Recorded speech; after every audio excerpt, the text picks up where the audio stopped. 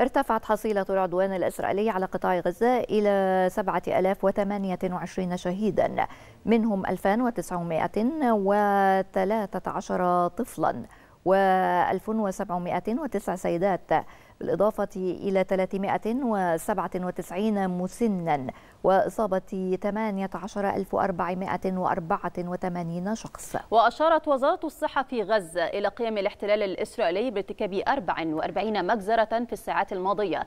راح ضحيتها 756 شهيدا منهم 344 طفلا إضافة إلى إصابة 1142 مواطنا بجراح مختلفة.